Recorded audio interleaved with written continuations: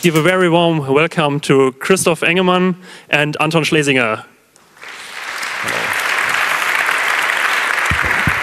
Hi. Yes, um, thank you. Um, this is a bit intimidating, large space.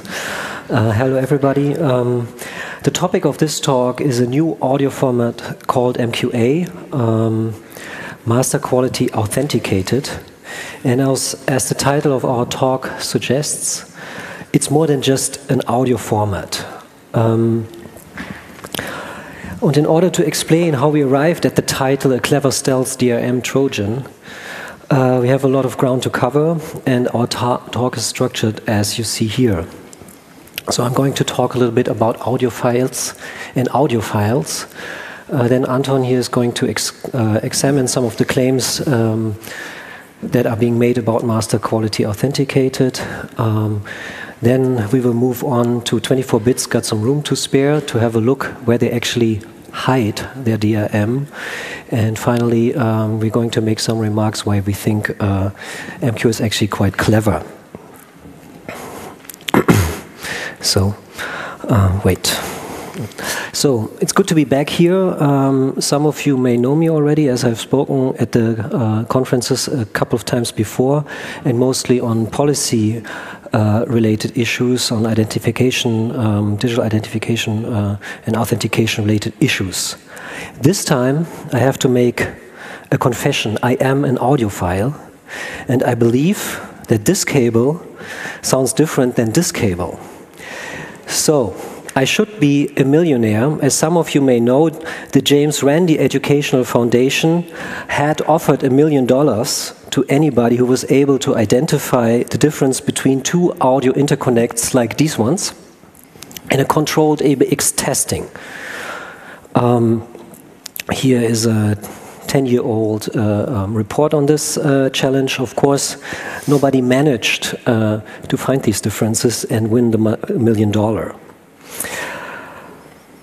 And I'm pretty sure I would fail at that test too, but in my own experience, if I put one of these cables in the system for a week or two and then the other cable um, for another week, there will be some preference that emerges.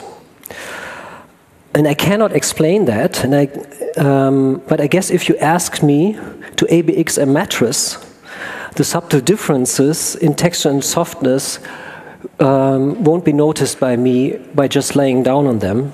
But if I get to sleep on each of these mattresses for a week or so, I might develop some sort of preference. I make this point here, and I'm sure Anton, who is more on the objective side of things when it comes to audiophilia, will be skeptical about it. But what I want to illustrate is that we are talking about a market that operates and exploits the limits of perceptibility and where environmental and habitual factors play a role in what you sense and what you notice. And I believe that certain markets have developed around those perceptible limits and exploit something like long tail phenomena in the distribution of perceptibility among humans. In other words, in a saturated consumer electronics market, there are a certain class of devices which offer just noticeable differences, and these can be commercially attractive and command premium prices. To illustrate this point further, let me ask you who of you here is a gamer? Quite a few. Okay, so how many of you have a 240 hertz monitor? Oh, two, okay. How many of you have a high polling rate mouse? Quite a few more. Um, do you believe this makes a sorry this makes a difference in your gaming experience? Okay, these are all objectivists here, skeptical people. Okay. um, values like 240 hertz refresh rates are astonishingly high. And if you tell somebody 20 years ago that people are able to discern 60 hertz refresh rates from 100 hertz refresh rate or 230 hertz, they'd have told you that the latency of the human visual system is far exceeded at these rates, and everything, everything about 60 hertz is moot. Yet Apple now sells you 120 hertz iPad, and the difference is perceptible for many. It turns out that peripheral factors, like head movement, haptic interaction with the screen, and so forth, uh, modify certain uh, thresholds of visibility.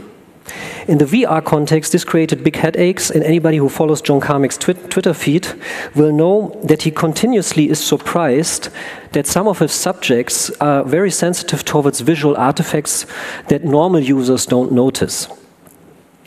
So it's very easy to make fun about audiophiles and their $2,000 Ethernet cables. This is one of these, and notice the small error there. Um, that's probably there because packets otherwise would get confused which way to go. Um, so these kinds of gadgets, and there are many, many uh, examples of those, of course, um, give ample ground to make fun of audiophiles. But that's not what we want to do here today. Instead, we want to look at master quality authenticated this new format as a development in the audiophile world that deals with these aforementioned limits of perceptibility and in a clever way exploits them to create and legitimize a new distribution channel for audio content. And we furthermore believe that these developments have possible repercussions outside of the audiophile world and might affect music consumers and producers, and that is you, um, and labels and the way uh, music is distributed in profound ways. So again, um, MQA stands for Master Quality Authenticated and promises studio sound at home. This is the MQA website, or this is some page on the website. Join the revolution in recorded music. Um, and there's a lot of uh, lot to unpack in this statement, master and quality and authenticated. Um, to give you a little bit an idea why I'm talking about this, as I already said, um, I'm an audiophile, but I also um, sometimes spend time on the other side uh, of music, namely in music production. Um, I used to manage a metal band or co-manage a metal band called President Evil. We called the style Stoner Thrash. Um, this is a great record. You just shouldn't look at the waveforms because it clips all the way through and has a DR of three for those people who know what that means. Uh, we toured with uh, ministry and so forth.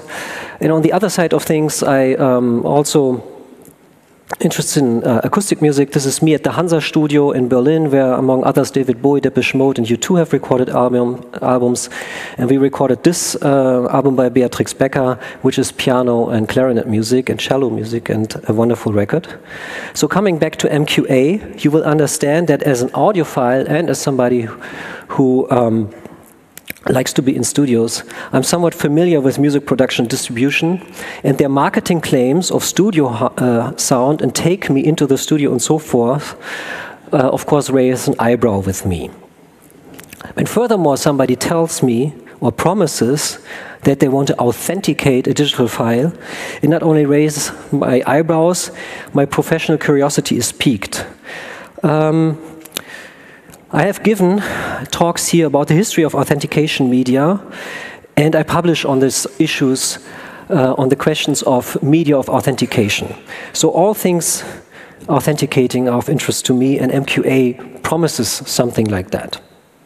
So what they say is it sounds uh, like what the engineers heard, and they're going to authenticate that on your playback device everybody with basic knowledge of intellectual property enforcement and digital rights management by now should be a little bit skeptic about their claims. As we're going to show, um, this is rightly so, but the devil is in the details, and MQA offers an interesting and clever design of how to bring digital rights management back into music in the music distribution context. As um, some of you may know, uh, the music, music industry has tried to do that several times and always failed to um, implement and sell digital rights management uh, to consumers. And uh, most distribution channels these days and most files uh, come without DRM. So um, this again is the website of MQA, and you can see uh, how they explain authentication, and they have this interesting term provenance. Um, and there's uh, the important thing is here the blue and green light that will light that will uh, go on on your um, device um, if an MQA file is played on this device and authenticated, and they promise sound like in the studio then, right?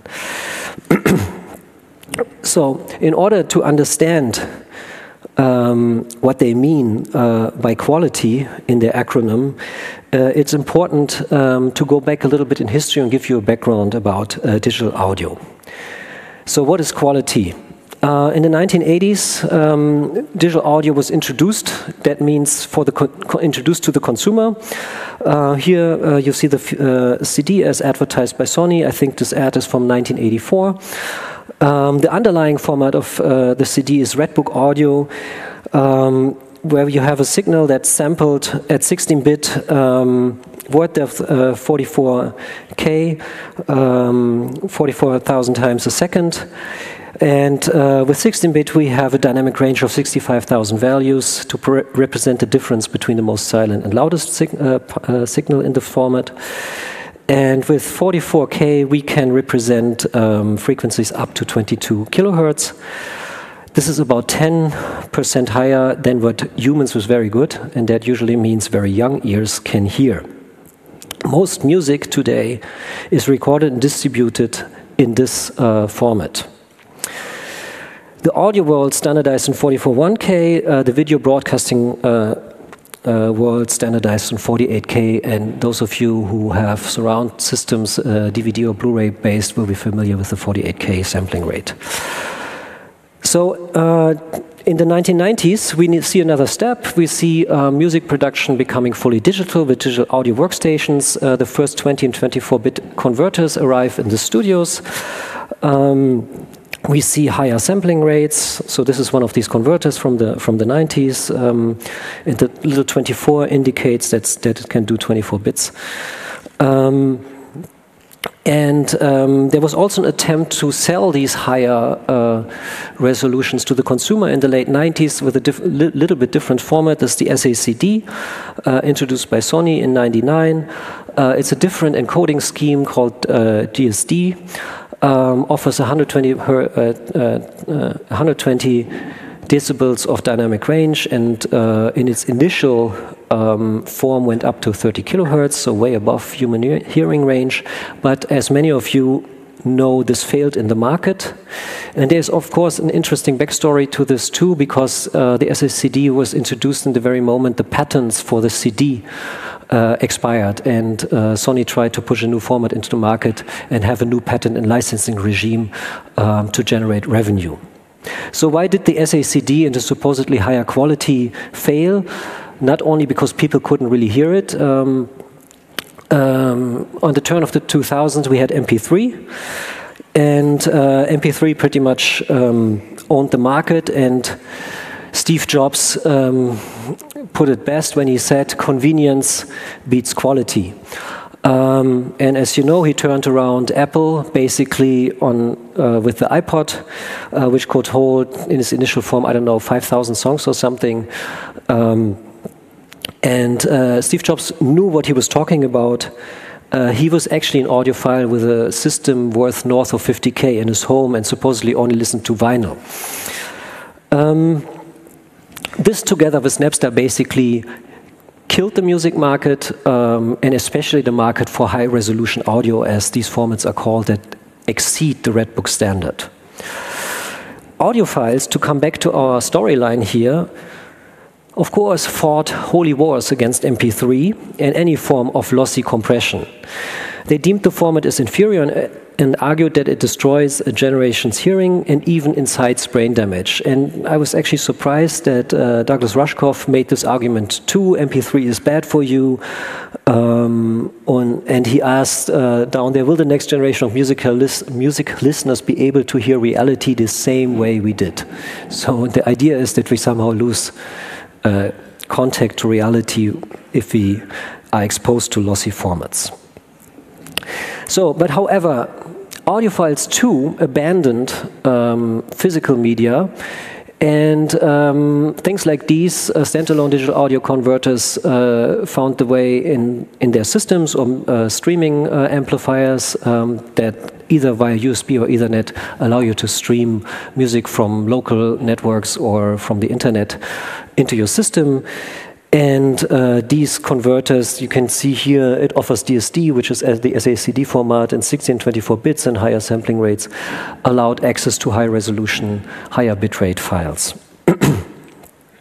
so, um, this is important because we come back to this in the context of MQA. And of course, you can ask about the, the benefit uh, of these kinds of devices and the audibility of uh, resolutions um, higher than 16-bit and 441K. Um, again, I think uh, there might be individuals that actually hear differences. Um, let's jump to the current decade. Um, 2010s, um, I think we are actually in a golden age for audiophiles because music um, comes basically into the house more or less uh, at very low prices uh, via streaming, and furthermore, um, they can actually buy lossless files uh, in resolutions up to 24-bit and 192 uh, kilohertz in online stores like this one is the French company Qobuz. And you can see that um, some of the, the contemporary current uh, records are actually offered in these formats. So you can buy the new uh, Björk um, record in high-res audio. I haven't, actually haven't looked at what resolution, I guess 2496 or something like that.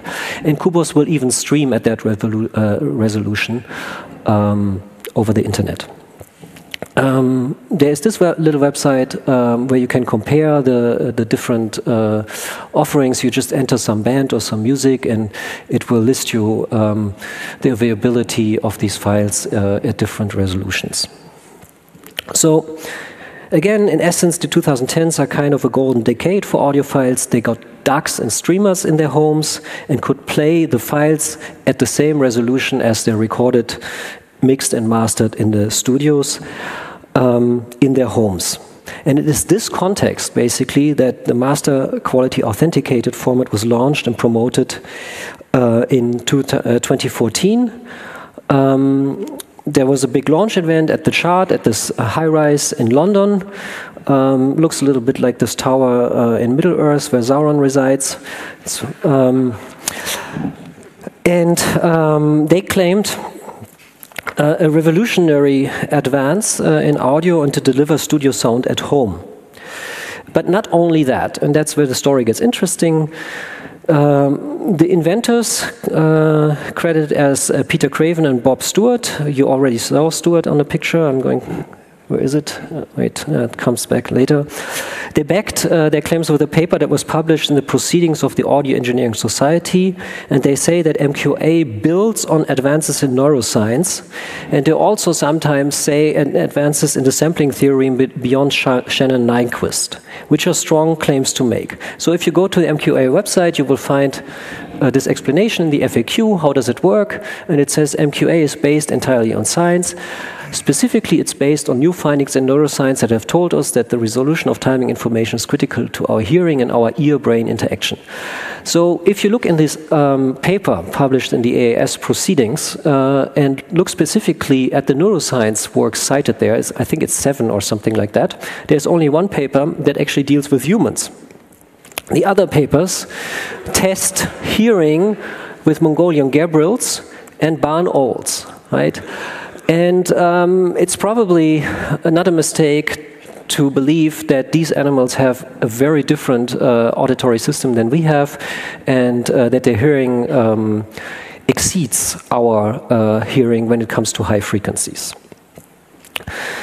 So, building on these neuroscientific advances, uh, they claim to correct for the time domain errors in the digital audio chain, namely errors introduced in analog digital converters. So when you record an analog uh, signal in the studio and uh, convert it to digital, um, and um, they say that these would create temporal blur. This is what they here say. There's a problem with digital. Dig, uh, with digital, it's called blurring. It's also from the website. Um, and this temporal blur is, the, is, basically the main marketing mantra of MQA. And the quality argument, the argument that it sounds better, um, rests to a large part on this claim not only to bring the studio sound to the home, but by reducing this what they call temporal blur. Their format, their format, so they claim, contains mechanisms to cope and correct these temporal inefficiencies present in all digital systems uh, where an analog digital or a digital analog conversion takes place, and remove that temporal blur. And reviewers in the audiophile press called these innovations revolutionary and claimed them not only to be audible, but to lift music to a whole new level. This is from audiophile. Um, public online publication, The Absolute Sound. They say, let the revolution begin. Um, and here they more or less compare Bob Stuart with Einstein. If you read this here, uh, this capture, this is Lord Kelvin up there. There's nothing new to be discovered in physics now. All that remains is more and more precise measurement. Lord Kelvin, five years before Einstein's paper on relativity. And if you look deep, deeper in the text, and I'm sorry for this, I know you can't read that now. Um, but they basically bring forward Thomas Kuhn uh, revolution, uh, the structure of scientific revolutions, and talk about a, a, paradigm shift in digital audio, and even come up with the Copernican model supplanting Ptolemy's worldview, and so forth. Right. So big things are happening in audio right now. You probably haven't heard yet, but um, we are entering uh, um, a new paradigm, and we are currently, and the fact that we are standing here is actually an indicator of the of the scientific crisis, because we belong to the old worldview and think Probably not, right? So, um, there is, of course, a big debate happening in the audiophile world around claims like this. And um, much of this debate is happening uh, on a website called Computer Audiophile. And um, there is specifically this thread, um, which was opened on January 2 this year, and it has amassed 250k views by now. It's really interesting because uh, there's a couple of, of really reputable people uh, publishing uh, on this uh, on this forum in this thread.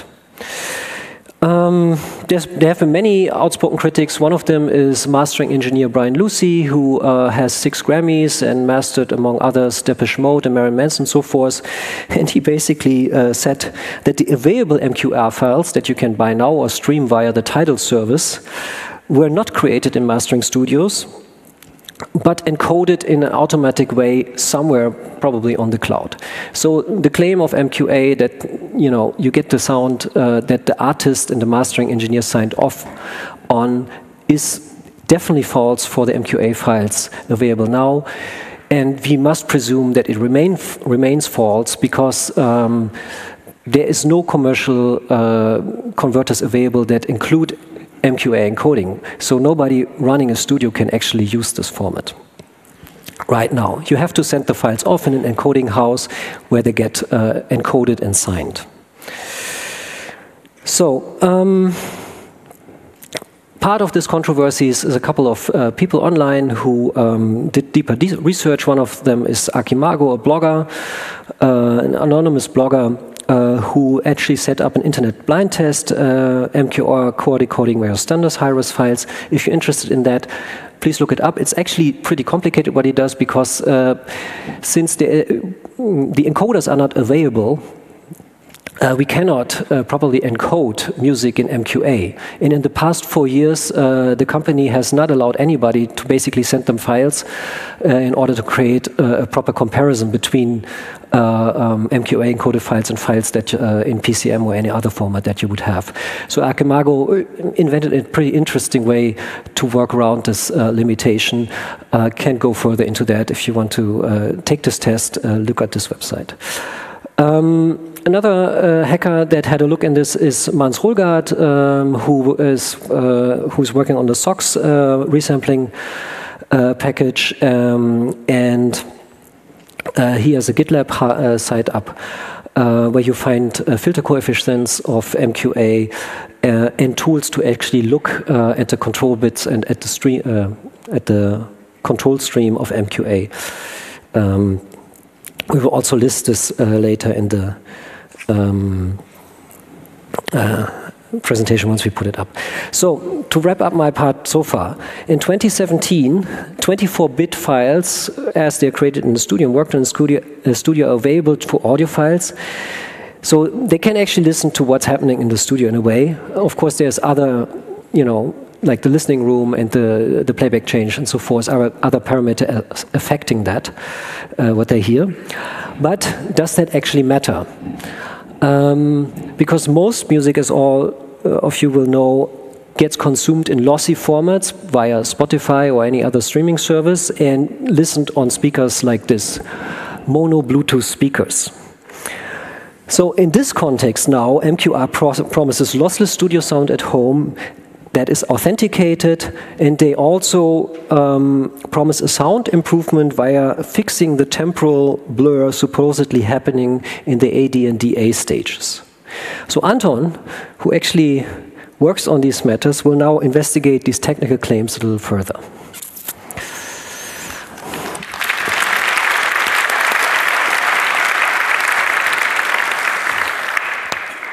Okay, there you go. Da drücken. Hi. So, as uh, Christoph uh, introduced himself, I do the same. Uh, my background in digital audio. Christoph, it's um, changing slides by itself. Is there a way to? to press. All right. Um, so, my background in um, digital audio started in 1993 when I bought this uh, CD player. Um, together with an amplifier and two Hakor speakers. Uh, and uh, looking back at that time, it was uh, the only point in my life where I actually uh, carefully listened to audio quality uh, as a listener. Uh, I repeatedly listened to my favorite records, which were mostly dance music at that time, again and again. The player did well and still makes the job today.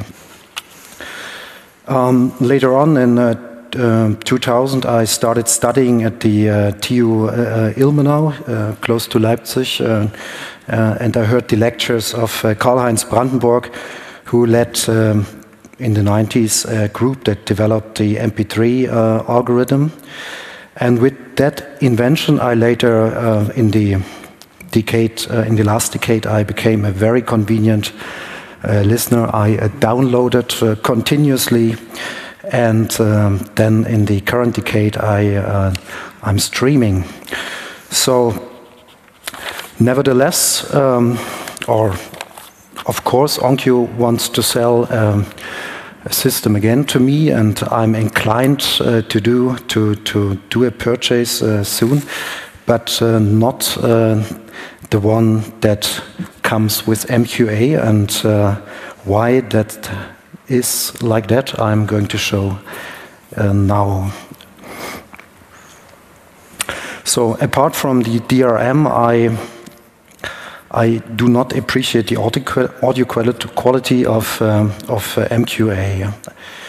And uh, before we have a quick look at the audio te technology, um, uh, let me state the following there's not much information uh, out there from MQA on the algorithm itself.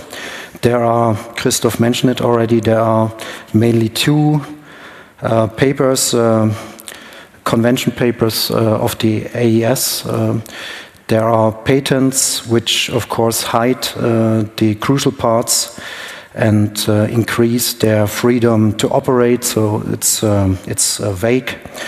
But there's luckily a lot of information from engineers that uh, that uh, looked um, into the details um, and uh, did a reverse engineering.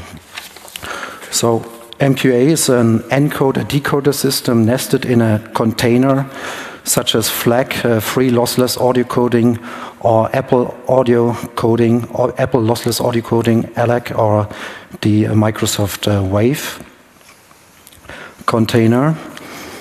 Um, and uh, thereby can be read uh, and decoded by standard uh, audio um, players uh, in hard and software. Of course, MQA wants to replace the entire audio chain, the entire audio chain of AD converters and DA converters, and uh, wants to get uh, royalties also from the streaming services and uh, the, the main approach is to um, reduce the file size uh, such that you send a uh, 24 or uh, 22 uh, bandwidth uh, file um, over the internet. But nevertheless, by unfolding is it, you can still have the high res resolution audio.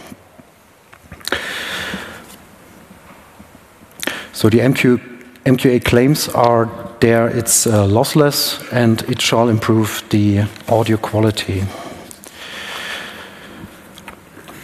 MQA is scalable. Uh, the more you pay, the more bandwidth you get. So from um, uh, the sampling rate uh, 48 kilohertz, you can unfold it four times. And download prices are currently at 2L um, higher than for the original high, resolu high resolution audio, the 24-bit um, and sampled at uh, 192 kilohertz files. Important to know, the end user does not own the file. Uh, this has Im implications. Uh, for example, if you do a loudness, loudness uh, normalization on the file itself or room compensation, you lose the um, you lose the MQA um, uh, license, so to say, and it's reduced to CD quality or below. So one of those claims in the AES paper, which is uh, written at the bottom, is uh, we advocate uh, lossless compression, lossless processing, and hierarchical up-down sampling. We highlight the quality and efficiency gains possible if the encoder and decoder are mutually aware and each matched to their analog converters.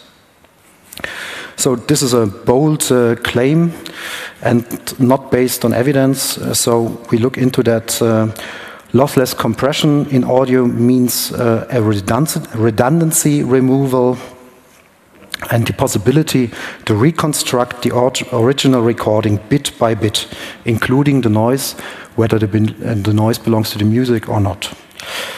Lossy compression removes information, be it audible or not. So is MQA lossless? Shannon's entropy allows to, allows to assess the maximum redundancy in an audio file that can be removed without information loss. So on a data set of music, uh, Stefan Hotto, um, a link is given uh, to his paper, not the link, but the paper itself uh, is given in the bottom of this uh, slide, uh, did a um, entropy optimization and FLAC uh, compression and reached for a certain uh, high resolution data rate 50% uh, of, um, of file size.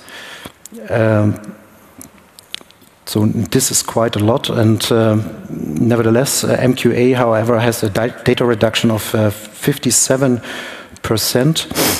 Um, And um, it, it's, it's um, obvious that this reduction, lowering the bit depths and changing the amplitude and phase response is a lossy process.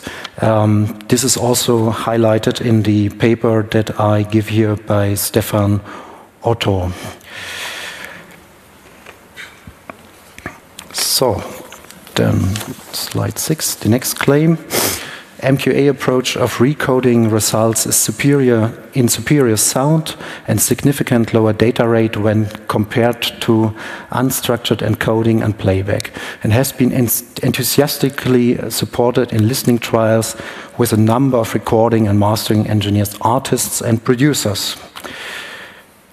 So this is a a truly scientific wording that may give you an uh, impression of the uh, AES uh, publications that um, that we have as the resource, uh, and we analyzed that. Um, I uh, quickly take you through the uh, sampling process. On the left side, you see two columns.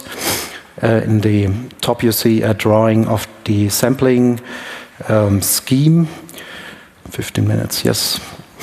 So we start with a band limited analog time function, and this is then multiplied in the time domain uh, with a series of uh, pulses. Uh, then in the third, row, uh, third um, line, we have the um, multiplication. Uh, the right uh, column shows you the um, frequency equivalent, and the time discrete signal uh, gets quantized with certain bit depths. Bit depths um, for high resolution, resolution, audio, it's 24 bit per sample. And then, if you put an analog um, low pass filter on the on the signal, you can reconstruct the original analog uh, signal bit by bit, and um, at, at 24 bit practically uh, equal to the original signal. What MQA uh, changes is, for, for example, the the B, B uh, spline kernel for a sparse uh, sampling scheme, and this shall improve the temporal resolution. It's um, highlight, uh, Christoph already mentioned that, uh, they highlight the detection of uh, humans, the ability to detect transients with 10 uh, microseconds, and um, the kernel also shall match to the song. So, uh, a second point is they changed the the um, low uh, the low pass filter for avoiding uh, pre-ringing and for improving together with the kernel um, the time resolution. They call it deblurring and uh, compensation for signal distortions from the analog uh, digital conversion during the recording process. So, is it uh, actually improving sound quality? Uh, the temporal resolution Oh, I should start with a listening test that Christoph already mentioned. There was no preference towards MQA compared to high resolution audio. In fact, uh, in some situations, standard high resolution audio was preferred. So, in terms of temporal resolution, is it improving audio, sound quality? Um, if you look at their um, claim, it shall allow for the detection of events that are as short as 10 microseconds, which would be a bandwidth of 100 megahertz. They call it deblurring from a 48 kilohertz sampled signal. This is uh, questionable, so I don't think uh, that's actually the case. Um, the next uh, point is uh, is it tuned to the song? Uh, at first, they call it, they, they, they pose to um, change the balance between time and frequency representation of their filters. Both are equivalent representations of a filter, but if they use an adaptive filter, we don't know actually what is, what is tuned to the song, so there's information missing.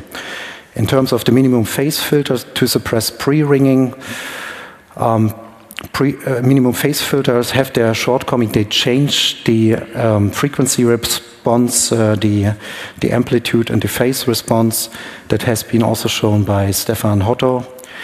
And in the last um, uh, the last point that I want to make on that slide is uh, the apodization uh, in the time domain to avoid the ringing of the um, filters. Um, the minimum phase filter has um, a ringing after the center of the filter and uh, to improve also temporal resolution and uh, to compensate for the signal change. That is also a point uh, Stefan Hoto looked at, and he clearly shows that apodization, so windowing, uh, in fact is a low pass uh, filter and not uh, improving sound quality. So, uh, do we need MQA enhancement based on today's evidence from neuroscience? We heard we need a time resolution in that paper of six mic microseconds, um, and it was um, referred to the binaural hearing. And in fact, uh, we are able to discriminate interaural time differences with just noticeable differences of 10 microseconds. Those differences are, however, based on a central auditory comparison of sound waves be between the ears. And because of the spatial Nyquist uh, limit, only the fine structure of the frequency up to 1.3 kilohertz is uh, analyzed. And if we remember the the barn owl, for example, has of course ears that are closer together, and that's why they uh, can even detect um, um, differences that are smaller than um, than in humans. So, and uh, from the uh, media production side, uh, there's no need for an enhancement of audio from a scientific point as well as from an artistic point of view. The artistic concept with all variables, uh, composition, performance, practice, etc., is captured on multi-channel multi-channel files, and the transmission chain has always been kept free from influences. Quote: "The music is the message," and um, finally interpreted by the interpreted by the auditory system. So we don't need a channel that is um, um, pre-processing what's going on in our head eventually.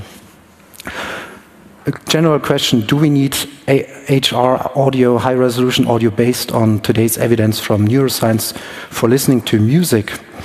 And uh, I have here a graph from Zwicker and Fastl on psychoacoustics. So the audible threshold in uh, quiet is uh, this uh, solid line, and it shows clearly we are not able to listen beyond, let's say, 20 kilohertz. Moreover, music uh, has a uh, amplitude uh, spectrum with 1 over f, so beyond 20 kilohertz, um, the sound power is very faint, and it's, from my point of view, um, hardly I can hardly imagine that uh, we are able to listen um, beyond 20 kilohertz.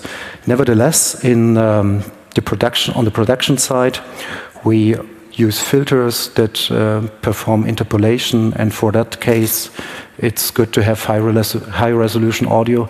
Another point is uh, conservation of uh, of recordings.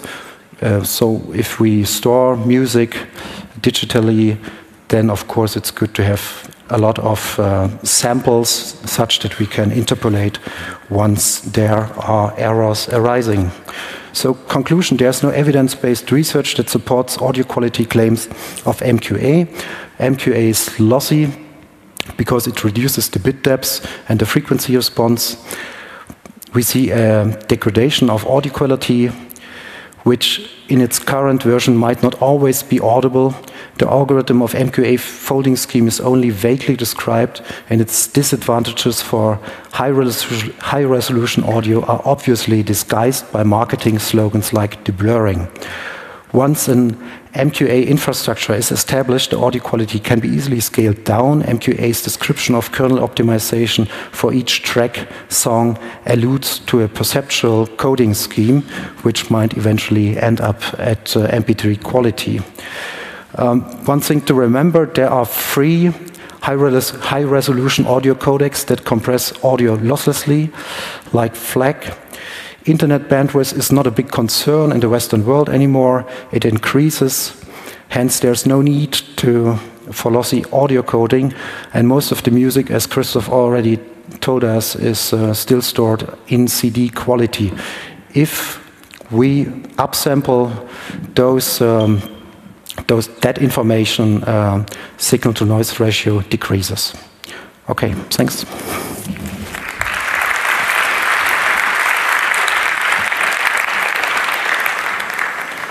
Okay. All right. Um, so thanks, Anton. Um, okay, I showed that. Good. So the question is, where's the DRM? Um, Basically, Anton already has showed that um, MQA employs a clever encoding scheme. And um, as far as we know, because this is proprietary technology and we have to work with what we got, and that is reverse engineering by some people online and some of the papers and uh, um, other publications uh, that MQA makes. This is again from the paper that uh, Anton just mentioned from Stefan Hotto, um, where he um, drew up the MQA encoding scheme. And the important part, uh, I don't have a laser pointer here, but is uh, the PCM sample up there, which you can see is 24 bits. And as you can furthermore see, uh, it's divided into two parts. A baseband is the audio bits, and the subband is the data bits. So basically, what MQA does is uh, using a 24 bit sample. Um, throwing away 8 bits of that, more or less 8 bits of that, uh, audio information, and bury um, other stuff uh, basically in the noise floor that a 24 bit sample uh, allows for. Give me a second. So, um, what if you look at the history I just gave you on uh, digital audio, this is in a way back to square one because we had in 81 with the CD Redbook standard 16 bits at 44.1 kilohertz. What we now would get with MQA is in their own words, right? Um, something to the extent of 15 to 17 bits of dynamic uh, bandwidth. Um, sampled at 48 kilohertz. Everything above 48 kilohertz um, is encoded in a lossy compression scheme, as Anton just showed. This is this folding, uh, what they talk about. How this actually is accomplished in detail, we don't know. It's uh, supposedly, I, guess it's a pretty clever way because you have to basically get spectrum from 24 kilohertz to 96 kilohertz into just a few bits and bury that in the six, seven, eight bits that you get uh, with MQA compression. So in a way, um, MQA uh, acknowledges that the standard that Sony and Philips arrived at, 16 bits 441K, is good enough for human hearing, and all the information above 16 bit and above 44 or 48 kilohertz in that term is more or less useless, not audible. We can do something else with that. So, what do you do? What do you put there? Um, and it's a fairly complex and sophisticated cryptographic scheme. Oh wait, I forgot this one. This is the blue light on the on the uh, on on uh, one of these uh, MQA DACs that lights up uh, when the file is authenticated. Um, and authentication, to remind you of that, that's a loaded term. Um, in the digital realm, it promises to verify the origin um, of the data. That so, who is the sender, and the integrity of the data under the conditions of open networks, where data can be altered at any point in the transmission. And these requirements can only be met via cryptographic claim, uh, means. Um, as the continu uh, continuous reports on hacked cryptos indicate, um, MQA has to come up with a workable and sufficiently secure system um, to, to, to make this possible. And MQA partnered with the German data security company Utimaco to create an authentication component for their format. Utimaco is a major uh, purveyor of cryptographic products and well established in the banking sector in Europe and also in the healthcare sector. And this is the website from Utimaco. So they offer lawful interception data retention services, which is nice to have, and they offer these hardware security uh, modules, which is actually what uh, MQA uh, uses. Um, Utimaco also published a white paper um, on MQA. It's available on their website. It's very sparse on details. But it suggests that MQA entails a public key infrastructure and that hardware security modules like these ones shown here uh, will be deployed in at least the MQA encoding houses and purportedly later on in the mastering studios. So um, the converters in those mastering studios would need to have uh, these hardware security modules uh, in them or some sort uh, um, of hardware security modules derived from, from these devices. And Utimaco was even so nice, where is it, um, to provide hardware security modules for dummies book on their site, which apparently audio journalists so far haven't been able to find. Um, and these hardware secure, uh, module, security modules basically provide the means to embed the necess necessary keys in the MQA encoded files. And the exact means of the key management schemes and the handling of the root of trust is unknown at this point. MQA might outsource this to Utimaco or might uh, use this crypto service that uh, um, do the key management. Okay, I have to come to an end. Um, uh, in-house. So I like to ask the audience here, is this DRM? I don't hear anybody. I guess that means yes. Yes, okay. So I'm asking this because MQA claims, of course, um, it's otherwise. They say it's not uh, DRM, and here is from Ars Technica. Um, MQA has no DRM competent application outside of the studio. We have no opinion on this beyond nothing noting that DRM is a futile exercise, right? And this is like a large part of the narrative and the online debate because MQA and, and all the people involved, including the audio press, keeps tooting this is not DRM because you can copy the files, right? But copy protection is just one form of DRM. The goal of DRM um, if you just look it up on Wikipedia, for example, this is the first thing you see, is to manage the rights of a user with data, and this means both in the restrictive and the permissive uh, use cases. So MQA permits copying, but it restricts uh, um, access to parts of the file, namely the higher resolution parts. Um, so in DRM parlance, that's conditional access, and the access is only granted if you have an MQA-capable digital audio converter, which you have paid for, of course.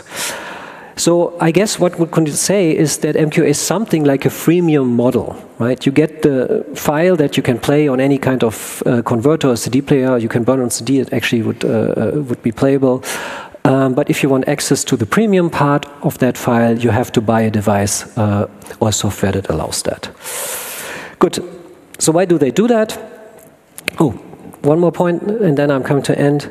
Um, the firmware, as it has been um, uh, uh, reverse engineered so far, shows that they actually have provisions in place for copy protection.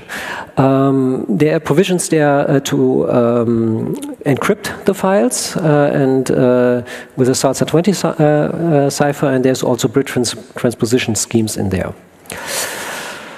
Why do they do this? Um, Jimmy Iovine just said, Apple Music uh, uh, boss, that the streaming services have a bad situation. There's no margins. They don't make any money. So he's talking about Tidal, Spotify, and so forth.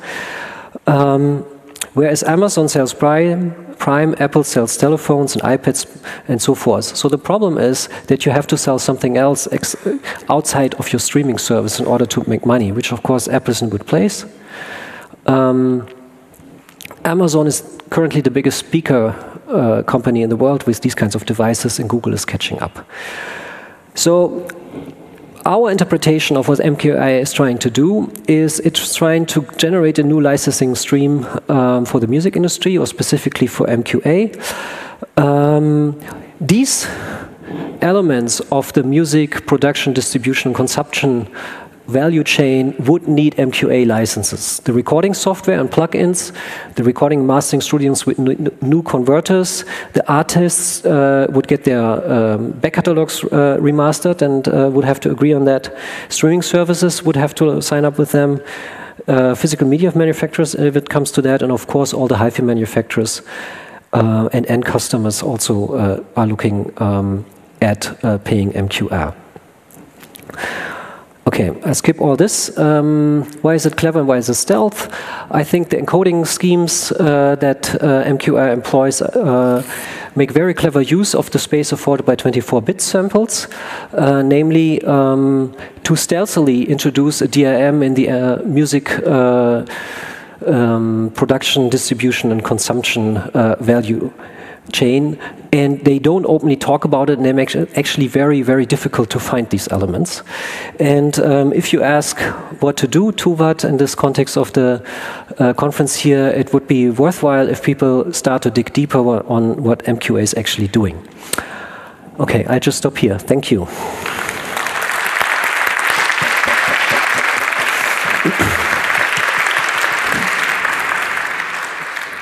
So thank you very much for the talk. We have now like five minutes for questioning and answering, so please line up to the microphones. And do we have a question from the internet? No.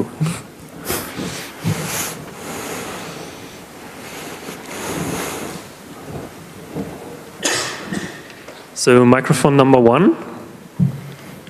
Hello, uh, thanks for your talk. Um, you talked about the reverse engineering of the firmware, so it somehow sounds that they wouldn't have these complicated hardware security modules in the DACs. Well, um, it's a specific firmware in uh, one product that has been reverse engineered from Bluesound. Um, I don't know uh, the security provisions of that, but um, this hardware security modules won't be at this point part of the consumer products. They will be part of the converters in the encoding house and uh, the distribution uh, context. Um, how the exact uh, uh crypto works um, between the MQA files and uh, um, the consumer DACs uh, is not yet known. There's, there's some hints and indications, you will find this in these resources, of how that works. Um, but the hardware security models would be employed in the, in the production distribution uh, part of the, um, uh, of the scheme. Okay, thanks. Yeah. We have another question from microphone number four. Yeah, thank you for the talk. Um, I have two questions. One of them is um, Do you think that this marketing concept will have any success at all? And the second one is um, Do you think that um, music encoding does evolve anywhere else than multi channel encoding instead of uh, increasing uh, sample rate and sample bits? Mm -hmm. Yeah, thank you. Good questions. Uh, I think this um, this is a good example of how not to market something because I cannot think of any product that has managed to create more doubt with both the consumers of, of this product and also hardware manufacturers and, and all kinds of other people which are involved in digital audio than MQA. I think they went out um, with very bold claims, uh, tried to play the audio files uh, with their easy, uh, easy suggestibility, uh, and were surprised by the competence in the audience. So I don't think this will go anywhere uh, in these terms. Uh, what was your second question again? Um, about how the encoding of music oh. evolves if we are going for more channels like uh, five channels, eight channels, maybe uh, 16 channels at some point, yeah. um, or do some people still try to increase the uh, bit rate and uh, um, frequency? Yeah, so um, it's probably a question for Anton.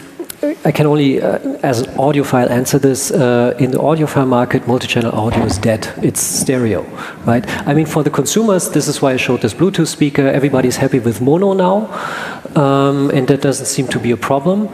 Um, stereo files will have, uh, audio files will have stereo setups, uh, and multi-channel setups create problems with rooms and you know calibration, all kinds of things. Um, it might be different in the AV sector. Um, in more general terms, I think audio is a solved problem, really. 24 bits and 192 kilohertz should, should be enough. Um, the frontier now is room correction and, and phase correction with speakers. So that's where the real problems are and where there's actually real progress. Digital, um, um, how do you call it, Weichen? Uh, oh, Crossovers, yes, digital crossovers, these kinds of things. Thank you. Okay, so maybe I can add uh, parametric coding is used in multi-channel audio. So you send one mono signal and then you can uh, reproduce by parameters a, a room uh, for, um, for a multi-channel uh, setup. Yeah, that's often used. Thanks. Uh, I think we have time for another question. Do we? Yeah, okay. Another question from microphone what number one. Story. I, I went to three conferences on digital audio and computer music this year. I didn't hear anybody mention this, mm-hmm. MQA. I think the story about the authentic, uh, authenticity, authentication, yes. what, what did you call it? Can you step oh, a bit uh, okay, forward? Sorry, it's it's fabulous. I wonder if they do they make any claims that do like virtual analog models of the original converters, or how do how, this story is just completely it's like crazy, no? Yeah, that actually is being mentioned in the MQA marketing model that they they call it fingerprint, the original analog digital converter, and compensate for for the deficiencies and errors this converter makes. And that's one of the big claims it, that there is a device-specific compensation embedded in the MQA file, uh, being called upon upon replay, and, and hence uh, a better quality uh, experience uh, for the listener. But all the evidence so far shows that this is absolutely not true. What we have is a pair song encoding, just like you would have an MP3 or something else. The encoder apparently analyzes the file, the, the song or the track, um, and makes certain provisions on how to fold the signal, so how many bits get allocated uh, in the dynamic range um, um, on a per track basis. So there is no authentication or fingerprinting or any kind of modeling of the uh, analog part or the D uh, AD part uh, uh, in the chain. So, thank you very much for the questioning and thanks again very much for the talk. And